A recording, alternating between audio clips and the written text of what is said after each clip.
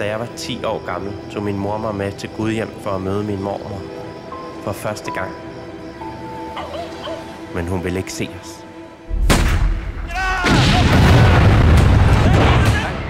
Min morfar, digteren og maleren Gustav Munk Petersen, blev skudt i den spanske borgerkrig 26 år gammel. Det kastede en skygge over min familie. Kære Lisbeth, vi har aldrig mødt hinanden, men du er min mormor, uanset hvad der er sket. Kære Laurits, jeg tror desværre ikke, det er nogen god idé, du kommer herover.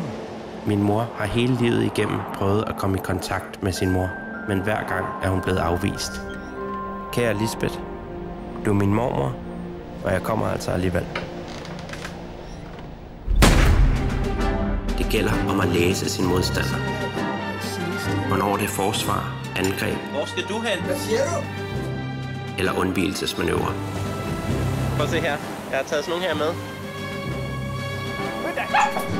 Lisbeth, det... Kører du ikke lidt hurtigt? Jeg må tale hende efter munden, og ikke vise nogen af alle de følelser, jeg har haft hele mit liv. Jeg venter. Hendes parader skal længere ned. Det er glasuren, jeg arbejder med. Det mest beskidte våben i skuffen.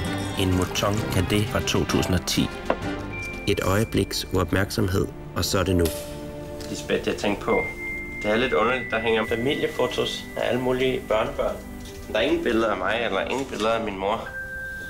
Er det ikke lidt underligt? Kunne vi ikke snakke om det?